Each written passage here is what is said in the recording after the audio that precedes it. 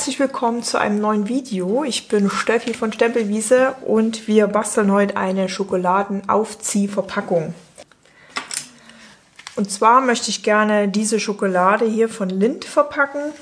Ähm, wir brauchen dafür einmal ähm, Schieferkraut, einmal Flüsterweiß, weil ich möchte das ähm, in dem Design, also ich möchte halt passend zu dieser Karte halt die Verpackung basteln. Und deswegen brauchen wir jetzt die Farben. Ähm, ich habe hier dann auch die Stempelkissen in Blütenrosa, Safrangelb und Aquamarin. Und wir machen jetzt erstmal die Grundverpackung. Und zwar mache ich das so. Mein Papierschneider. Ähm, ich brauche jetzt erstmal die, die Höhe der Verpackung. Dann nehme ich mir ein Lineal und messe das aus. Und die sitzt, also ich würde jetzt 19,5 nehmen, dann ist die oben und unten so ein Millimeter, also dann ist die Verpackung ein Millimeter drüber, dass da nicht dieses, äh, die Farbe von der Verpackung durchscheint. Also 15, äh, 19,5.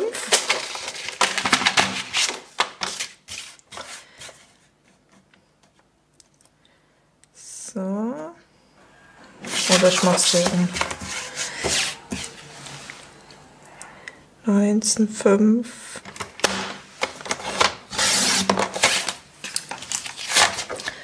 So, und dann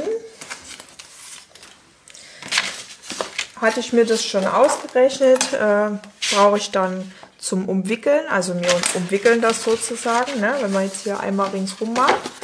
Das heißt, ich brauche jetzt einmal die Länge, einmal die, einmal die und einmal die. Dann bin ich einmal ringsrum plus ein, ein Zentimeter Lasche zum Zukleben. Also ganz einfach. Also die Breite ist hier circa ja, 6 Zentimeter und die Höhe 1,3 würde ich jetzt sagen. Das heißt, insgesamt wird es bei mir 16 Zentimeter. Kann man schon mal zuschneiden. So, die erste Falz bei 6 cm. Die zweite mache ich dann bei 7,4. Also ich gebe jetzt einen Millimeter zu, dass es nicht zu straff ist. Und dann haben wir bei 13,5 und bei 14,9 Und dann ist die Rest, die Rest, äh, der restliche Zentimeter ist dann eben die Klebelasche. Also ich habe hier mit 6 angefangen, hier sind es dann 6,1 und die Ränder sind jeweils, also wie gesagt, Millimeter dazugegeben, weil damit es nicht zu eng wird. Achso, und dann können wir gleich noch das andere Papier zuschneiden. Und zwar möchte ich hier vorne ähm, äh, die Verzierung machen. Das heißt, man misst sich das dann auch einfach aus. Da ja die, die Höhe ähm, 19,5 ist, mache ich jetzt 19 cm. Und hier mache ich jetzt 5,5, so dass ringsrum, also überall ein halber Zentimeter kleiner ist. So, 5,5.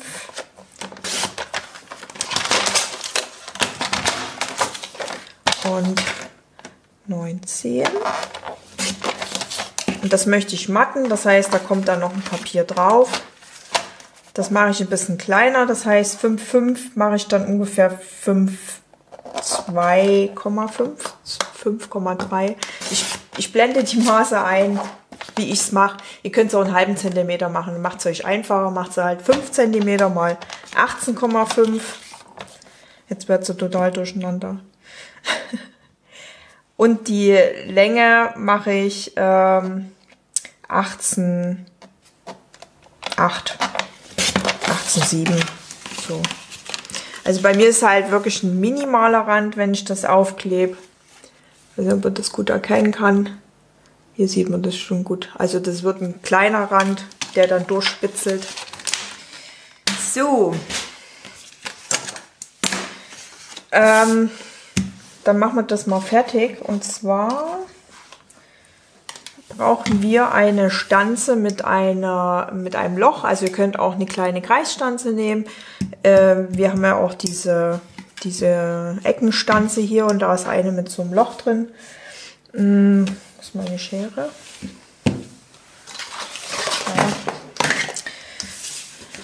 Und zwar schneide ich erstmal an der Klebelasche so schräg, dass das dann, wenn wir es zukleben, nicht übersteht. Und da mache ich jetzt ähm, beidseitiges Klebeband drauf. So. Und jetzt ähm, auf der Seite mache ich jetzt äh, das Loch genau in die Mitte. Also ich, ich schaue so von oben, so Pi mal Daumen, es muss jetzt nicht ausgemessen werden. So. Und mache mir da das Loch rein. Und das mache ich mit der anderen Seite auch, die anderen 6 cm. So. Dann habe ich die Löcher drin. So, und dann können wir das schon mal fertig falzen.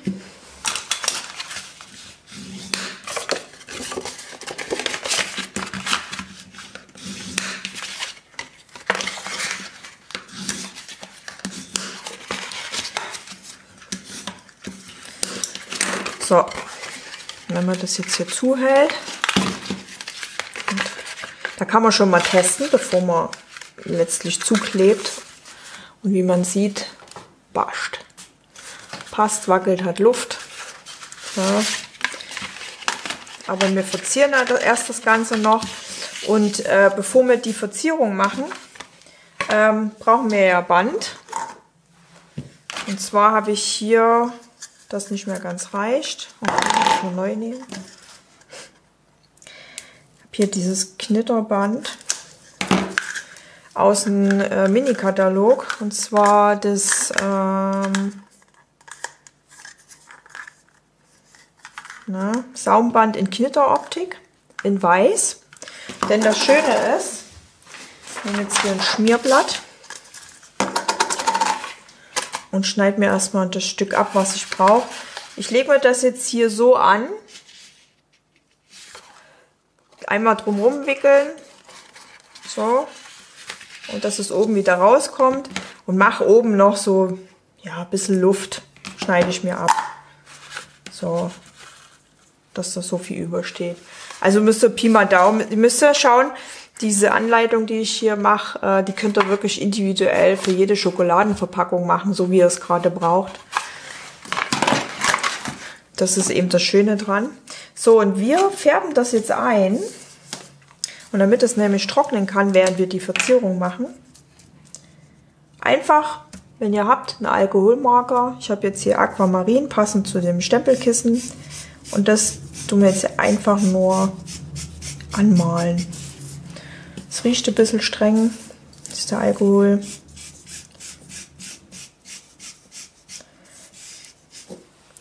Dieser Geruch verfliegt dann aber wieder. So.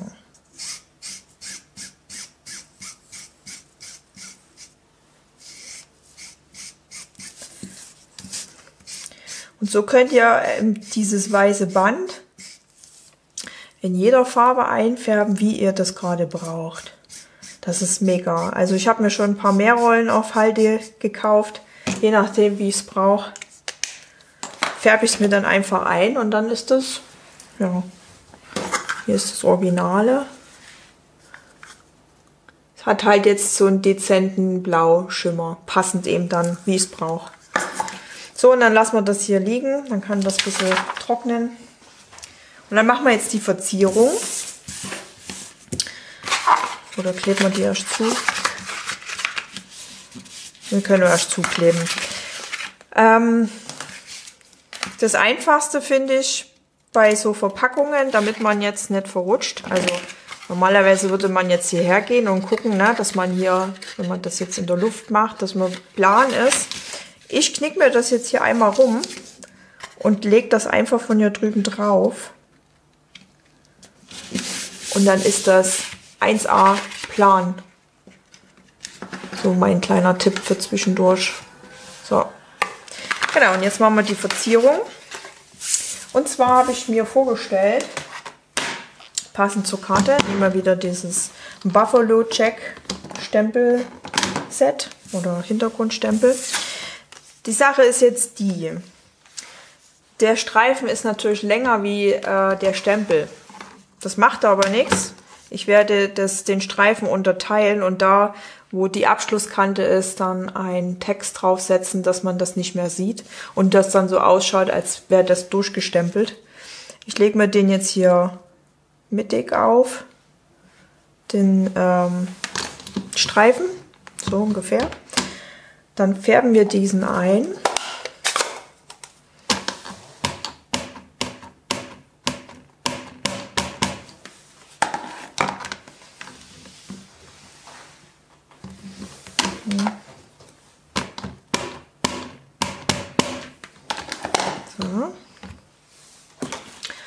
Gehe ich hier mit meiner Walze drüber, in der Hoffnung, dass auch jede Ecke erwischt ist, erwischt wird.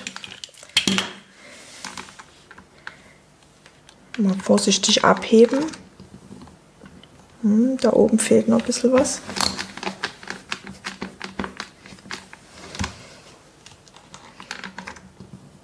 So, jetzt ist halt nur der obere Teil.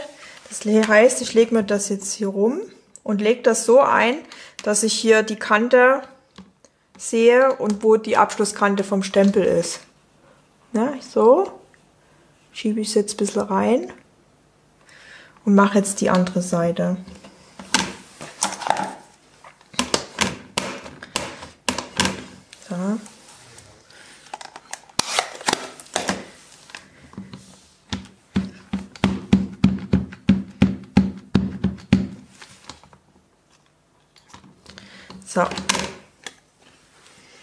So schaut es dann aus.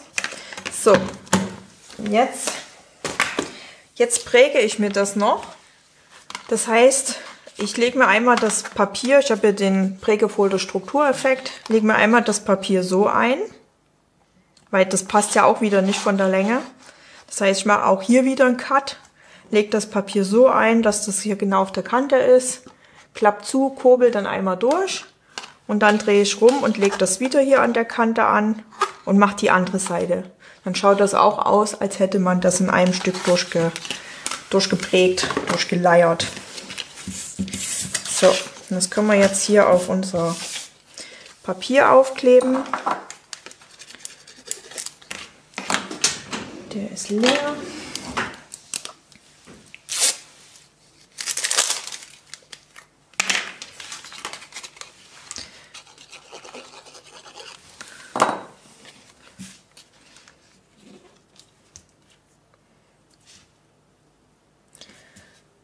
Und dadurch, dass wir das jetzt bestempelt haben, kommt auch der weiße Rand von dem Papier drunter zum Vorschein. Da hat es dann wieder so einen kleinen Rahmen. So, das können wir jetzt auf unsere Verpackung kleben. Und zwar habe ich das so gemacht, dass dieses Loch da hinten verschwindet. Das macht nichts. Also das muss auch nicht sichtbar sein, das muss nur benutzbar sein. Das heißt, wenn ich das jetzt aufklebe, das Papier, spare ich hier oben am Kleber aus. Müsst ihr halt jetzt drauf achten. Ist immer noch leer. Also einfach so. Das passt schon. Na, so.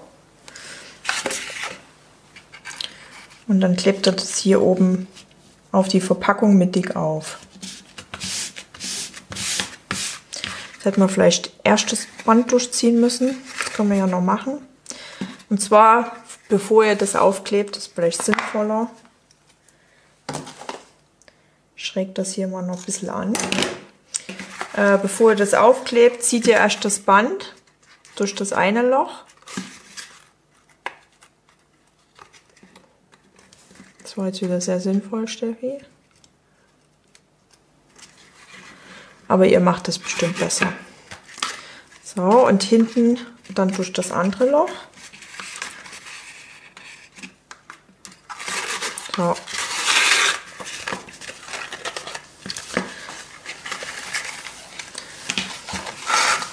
Dass das dann so ausschaut. So, jetzt machen wir die Verzierung und zwar möchte ich da ein Etikett haben. Ähm, Einen Rest? Ja, hier noch Flüsterweiß Rest. Und da habe ich jetzt hier einen Stempel aus einem älteren Stempelset. Ich weiß leider nicht mehr, wie das heißt. Es war irgendwas mit Watercolor, Aquarell. So ein deutsches äh, Grußset von Stampin' Up. Da könnt ihr halt irgendwas nehmen. Ihr könnt Dankeschön nehmen. Ich habe jetzt hier für dich. Ihr könnt auch liebe Grüße nehmen, was ihr halt da habt, was passt. Sollte halt hier von der Breite her passen ungefähr. Das stempel ich mir jetzt mit, äh, mit Schwarz.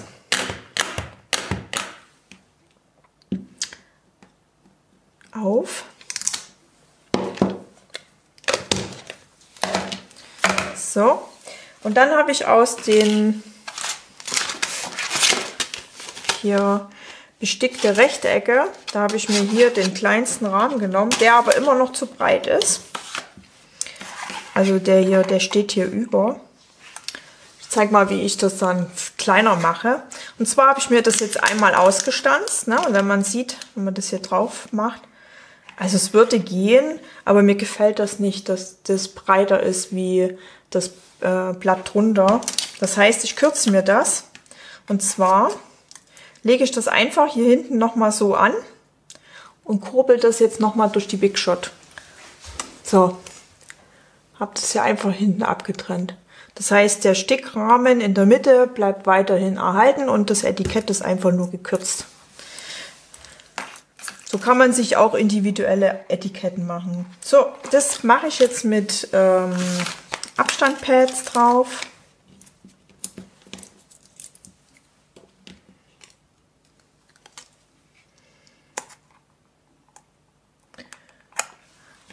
Und schon schaut es aus wie aus einem Guss.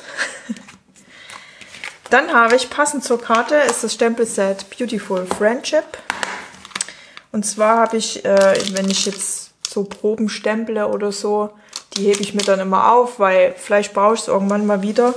Ich habe hier äh, so eine Kiste, wo ich immer die ganzen Standsteile sammle und aber eigentlich nie wieder reinschaue. oder selten, sagen wir mal so.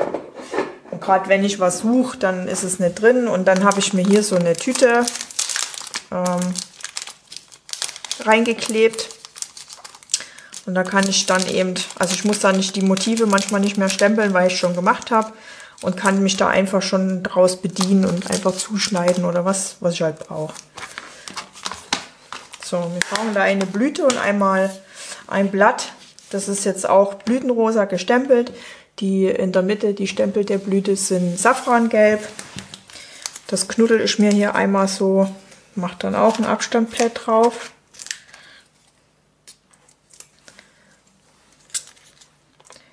und klebe das hier so unten hin. Und die, die Blätter, da nehme ich einen Cludot.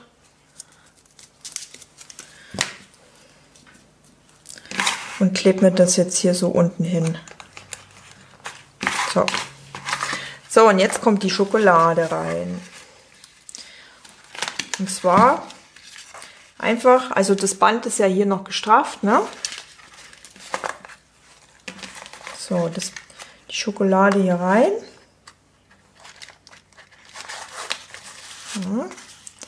Und dann reinschieben. Und die Bänder sind jetzt straff. Also die Schokolade guckt hier unten raus. Oben sind die Bänder. Dann nehme ich äh, hier Leinwand. Die Ecken, die in dem Leinband drin sind, die ziehe ich mir mit dem Fingernagel raus. Dann ist das weg.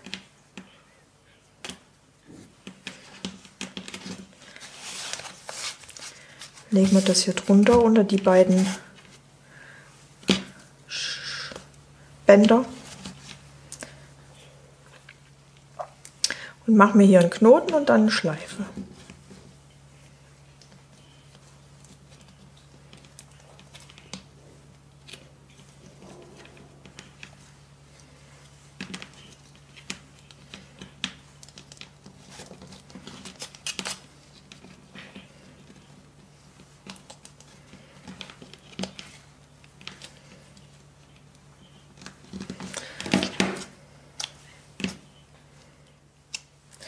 So, und die, die Bänder, die jetzt hier oben raus gucken, die kürze ich mir einmal so und einmal so. Und fertig ist meine Schokoladenaufziehverpackung. Und zwar einfach, indem man zieht und durch das Band zieht man die Schokolade zum Vorschein. So. Also die kann unten nicht rausfallen, nicht rausrutschen. Und das ist halt der ganze Gag. Ja, dann schiebt man es wieder rein. Man kann das dann wunderbar verschenken. Passend zu einer Karte oder die Karte passend zum Geschenk, je nachdem. Könnte ich eigentlich noch Glitzersteine drauf machen. Hm. Was sind denn die? Und zwar die, habe ich hier die Champagner-Glitzersteine.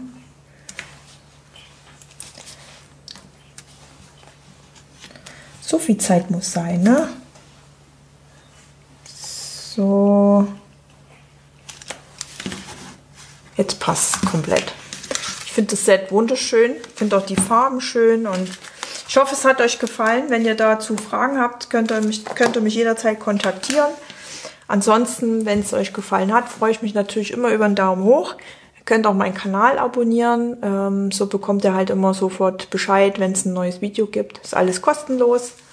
Ja, und wenn ihr das nachmacht und in den Medien zeigt, also Facebook, Instagram, wo auch immer, könnt ihr gerne meinen Hashtag Stempelwiese benutzen und dann schaue ich mal rein und like gerne oder kommentiere auch gerne, je nachdem. Genau. Also viel Spaß. Ich wünsche euch noch einen schönen Tag und schönen Abend und bis zum nächsten Mal. Tschüss.